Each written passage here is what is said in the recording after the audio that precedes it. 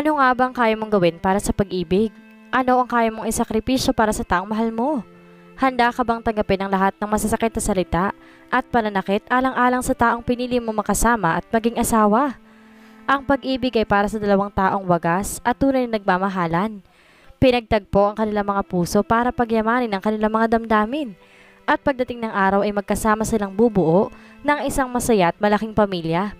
Pero taksi lang puso kapag tinamaan ka nito at sa maling tao pa. Tunghayan natin ang kwento ni Teresa.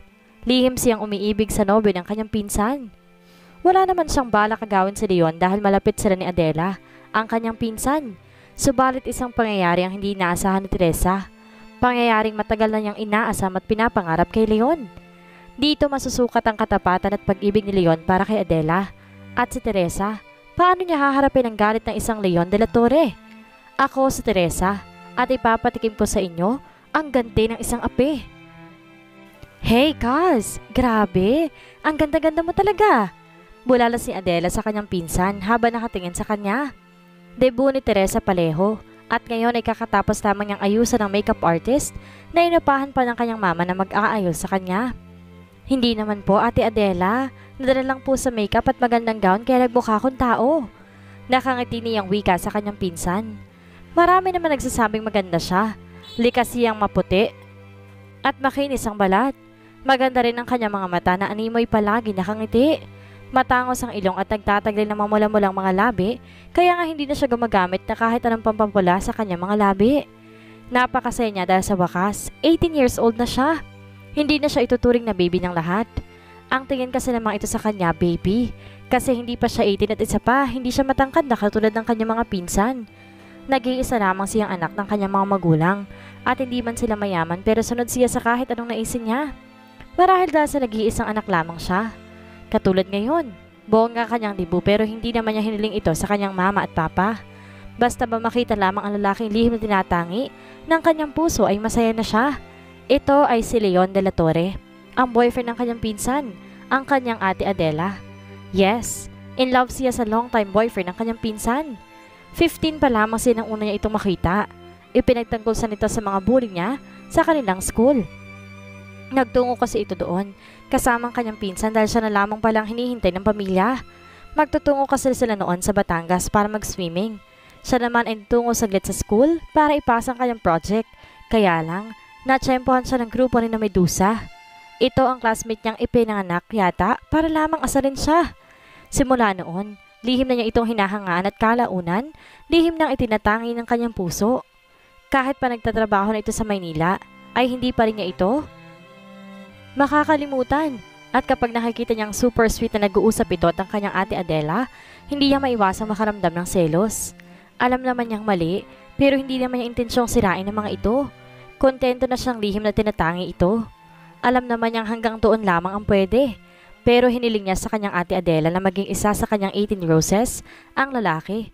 Kaya naman napilitan itong umuwi ng Laguna para lamang umaten sa kanyang birthday party. Naku, hindi ka na talaga baby girl namin. Big girl ka na.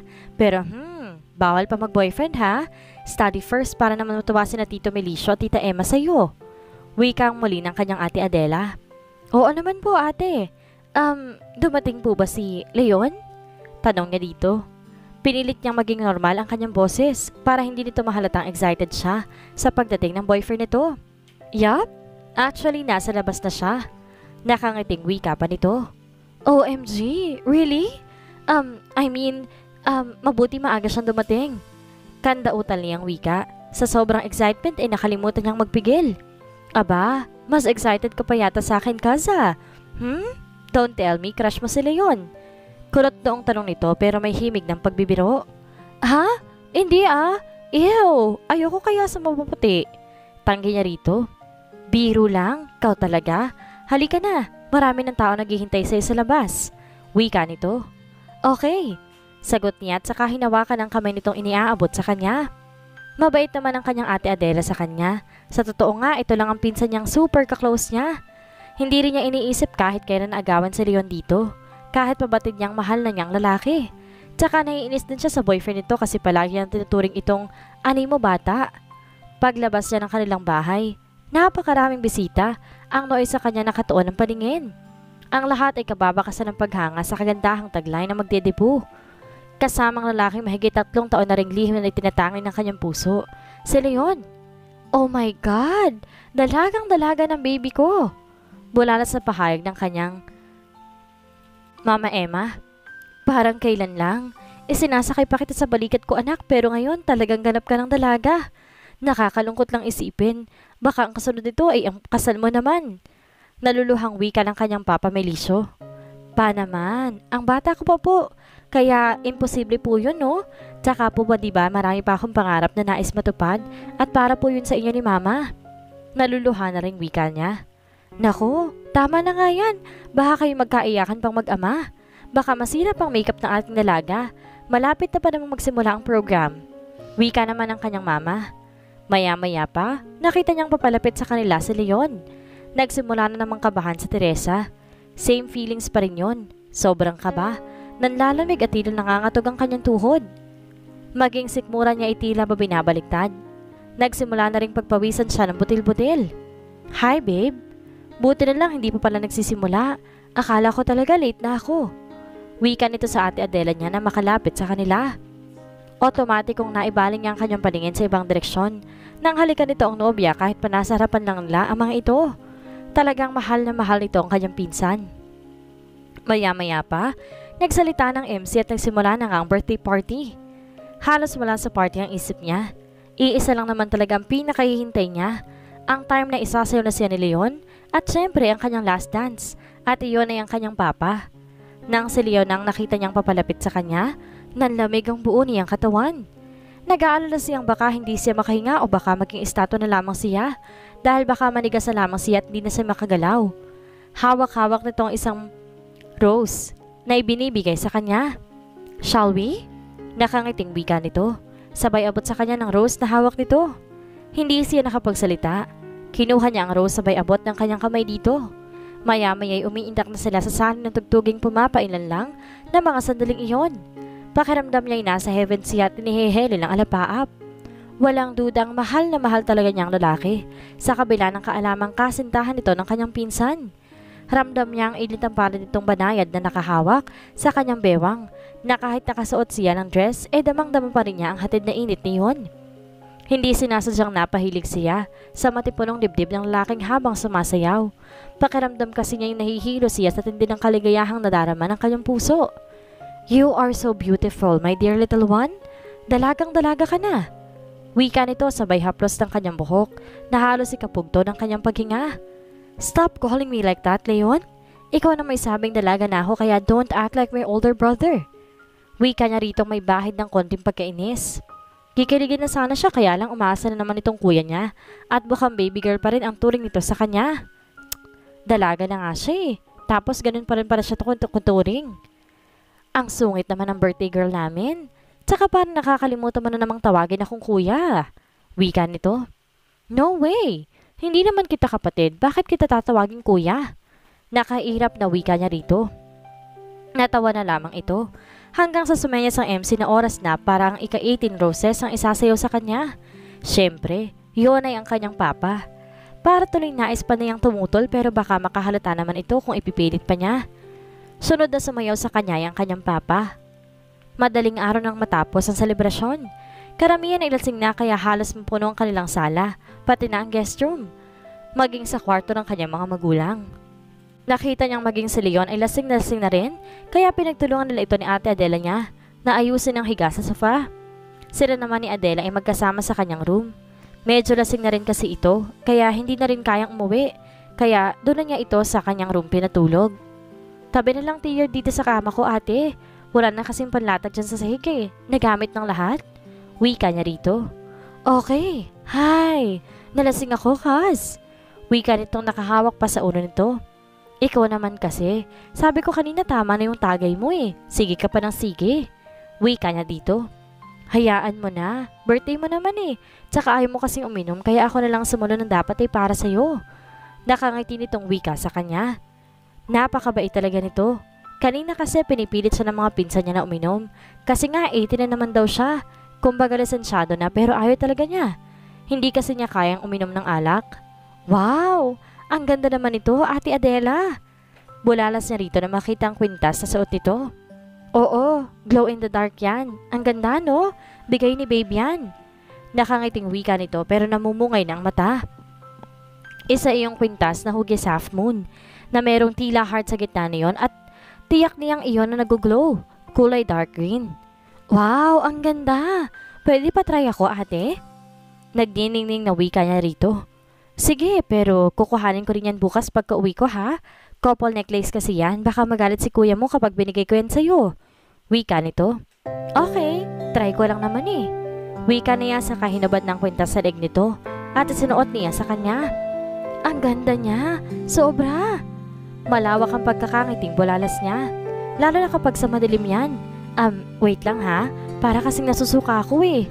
Wika nito sa katumayo at para magtungo sa CR. Sasamahan na kita ate. Wika niya rito. Hindi na, kaya ko pa naman eh. Sagot nito at saka lumabas ng pinto. Pagkalabas sa pagkalabas ito, pinatay niya ang ilaw para makita kung gaano kaganda ang kwenta sa dilim. Sobrang namangha talaga siya habang pinagmamasdan iyon. Sana lang dumating ang araw na bigyan din sa Leon ng ganito kagandang kwintas. Maya-maya ay bumukas ang pinto. Nagtaka siya dahil ang bilis naman ng kanyang ate. Kakatalikod lamang nito ah. Tapos na kaagad itong sumuka? Eh nasa kabilang dulo pa ang CR nila. Tumabi ito sa kanya at laking gulat niya yung kapin siya nito. Ngunit halos mawindang siya nang mapagtantong hindi ang ate Adela niya iyon, kung hindi si Leon. Patunay ang suot-suot itong kwintas, nakapares ang kwintas ng kanyang ate, na suot-suot niya. Isa pa, alam na alam niya ang amoy nito. Hindi siya pwede magkamaling si Leon nga iyon. Biglang naging tuliro ang kanyang isipan. Tila nanigas ang kanyang buong katawan at baging kanyang pagkingain na higit na. Lalo pat bigla siya nitong hinalikan sa mga labi. Animoy na wala siya sa kanidaan nang malasap ang halik ni Leon. Ang kanyang unang halik na parati niyang ini-imagine na kay Leon ipagkakaloob. Ngayon, nagkatotoo ng lahat. Ngayon, magkahinang na ang kanika nilang mga labi na matagal na niyang pinapangarap na malasap mula dito. Yakap-yakap pa rin siya nito na mas nakadagdag sa kaligayahang natatamo niya. Dream come true ito para sa kanya. Alam niyang mali pero pinagpapasalamat na lamang niya iyon na kahit ngayon lamang ay nalasap niya ang tamis ng halik at inip ng yakap ng kanyang mahal. Magsasalita na sana si Teresa para matauan ng lalaki, ngunit naking gulat niya nang simulang hawakan nito ang kanyang dibdib. Pakiramdam niya nanlamig ang kanyang katawan at tila nawala siya sa katinoan. Hindi rin niya nagawang pumalag nang ililis nito ang kanyang crop top shirt at marahas na ilihis ang kanyang suot panloob. Halos manlaki ang kanyang mga mata nang lumapat doon ang mga labi ng binata.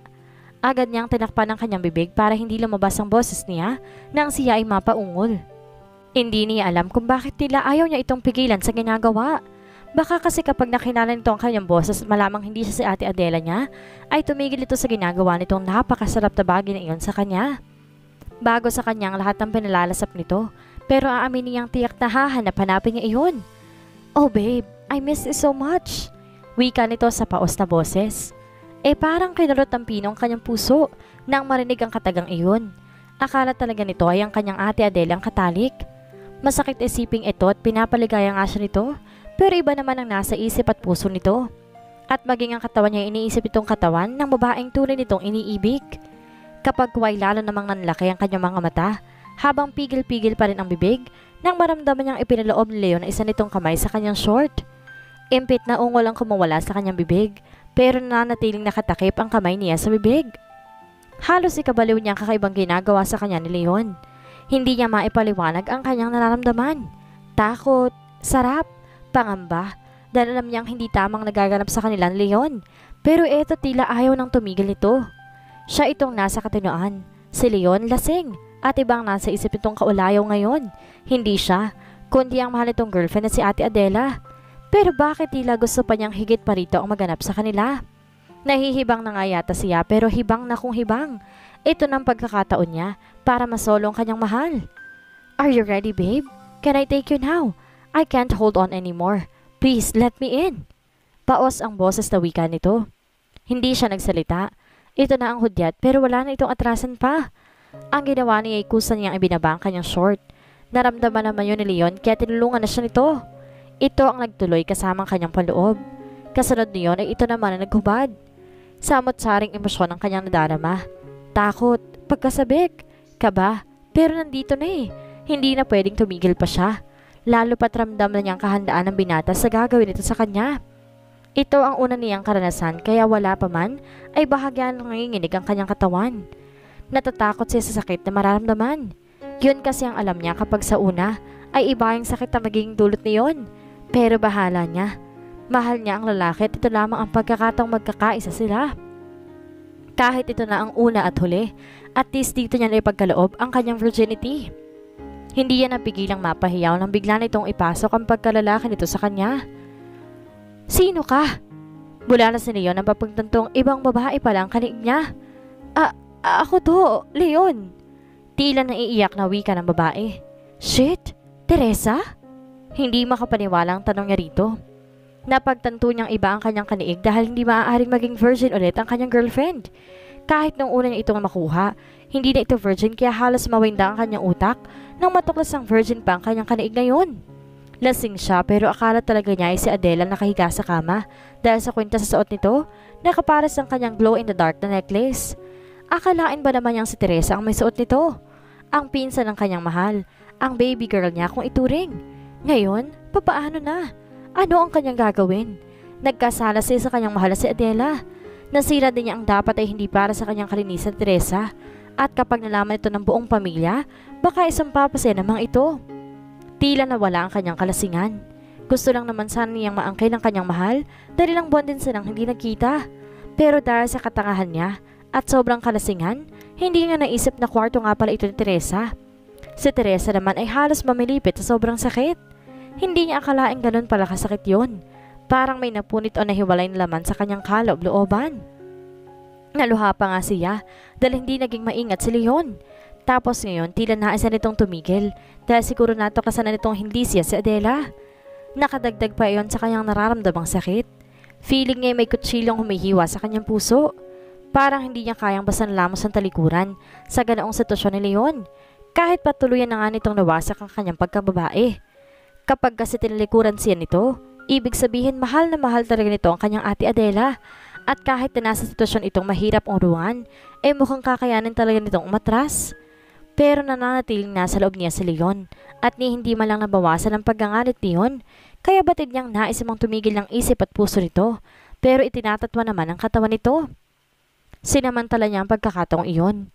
Hindi niya nanaising iwan siya nito sa ganong sitwasyon kaya naman kusa niyang iniliad ang kanyang balakang.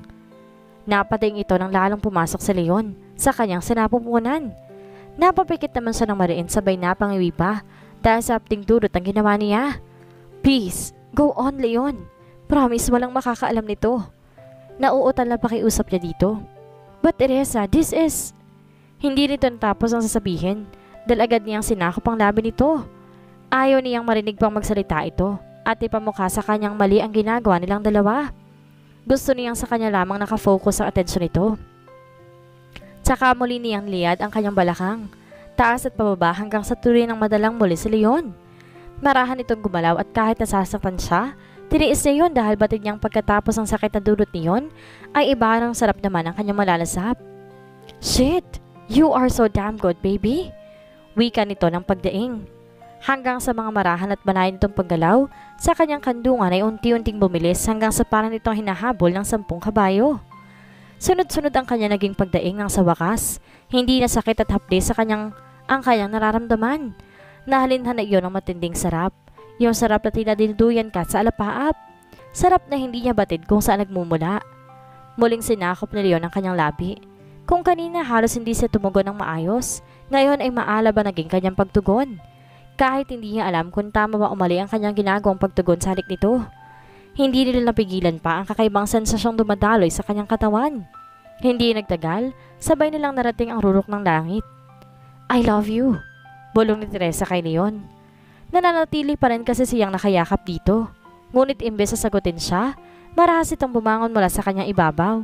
Tatayo na sana siya nang marinig niya ang pagbukas ng pinto ng kanyang room at biglang lumiwanag ang paligid. Leon? Teresa?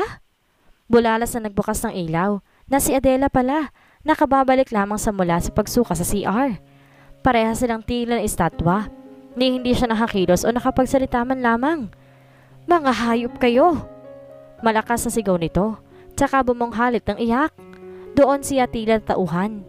Mabilis niyang nahablot ang kumot at naipambarot niya sa kanyang hubad na katawan. Si Leon naman mabilis sa kapagsuot ng brief at pantalon. Hayop ka! Mga walang hiya! Galit na galit na sigaw ni Adela habang paulit-ulit na sinasampal si Leon. Siya naman ay umiiyak lamang na nasa pinakadulong kama. Ilang sandali lamang at nagsidatingan na ang kanilang ibang kamag-anak, maging ang kanyang mama at papa na halatang nagulat sa komosyong nagaganap. Mahabaging langit! Teresa, anong ibig sabihin nito? Bulalas ng kanyang ina. Ma, let me explain. Hindi po talaga namin sinasadya. Sagot niya sa kanyang mama ngunit hindi na niya iyon natapos dahil sa isang malakas sa sampal ang pinadapo nito sa kanyang pisngi. Walang hiya kang bata ka. Hindi kita pinalaki para lang ganitong kahinatnan mo. Napakabata mo pa tapos nakuha mo pang kumalantari. At sa dami-dami ng lalaki, bakit ang kuya Leon mo pa? Hindi ka nag-iisip na bata ka. Kasintahan siya ng ate Adela mo, Diyos ko. Ano itong nagawa mo? Galit na galit na sumbat ito sa kanya habang umiiyak. Mama, Papa, sorry po. Wala na siyang ibang maisip pang sasabihin.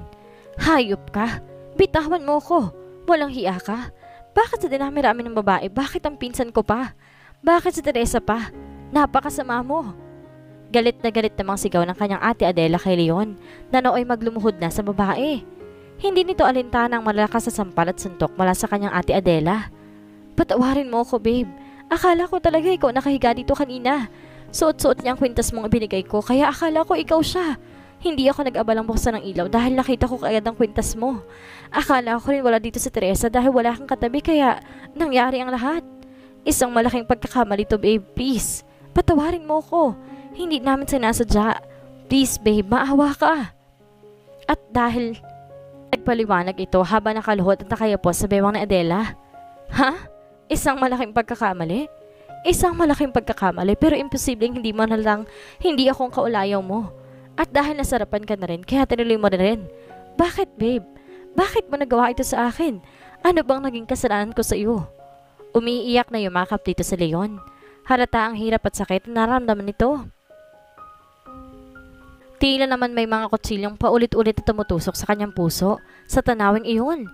Walang dudang mahal na mahal talaga nito ang kanyang pinsan. Inilibot niya ang kanyang paningin sa lahat ng kamag-anak nilang nasa paligid.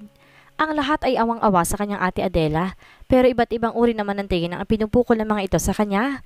May mga tila galit, naiinis, at ang iba'y pangahinayang.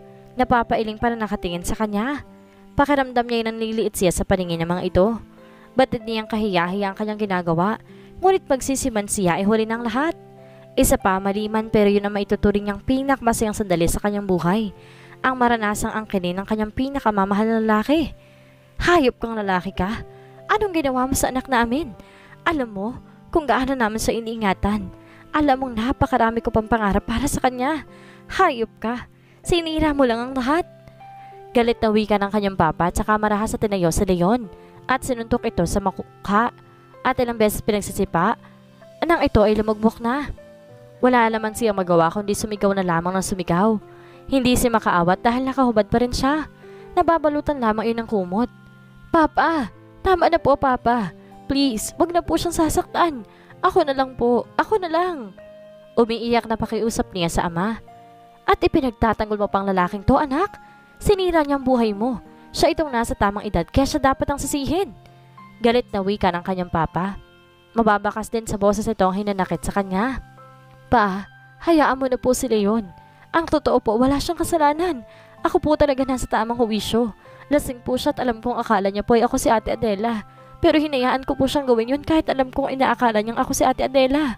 Kaya po, wala po talagang kasalanan si Leon. Please po, hayaan niyo na po siya. Umiiyak na pag-amin niya. Ano? Bulalas ng kanyang mama. Ang papa naman ay tila natagilan at nabitawan si Leon. Bakit, Teresa? Bakit mo hinayaang mangyari ang bagay nito? Diyos ko, ano ba nangyayari sa iyong bata ka? Sunod-sunod na tanong ng kanyang mama. Dahil mahal ko po siya, mama. Mahal na mahal. Umiiyak na pag-amin niya. Napaawang ang labi ng kanyang ina. Ang mga tao naman nakapaligid sa kanila na parang mga kamag-anak nilang lahat ay naiiling na masasamang tingin ang binabato sa kanya. Kay Leon nakatuon ang kanyang palingin nang sabihin niya ang bagay na iyon. Ang totoong nararamdaman niya para dito. Gusto niyang makita ang reaksyon nito ngunit iba yung kirot sa kanyang puso Ang dulot ng reaksyon nito. Tumiim lamang ang anyo nito at tinignan siya ng masama. Galit ang nababanaag niya sa mga mata nito.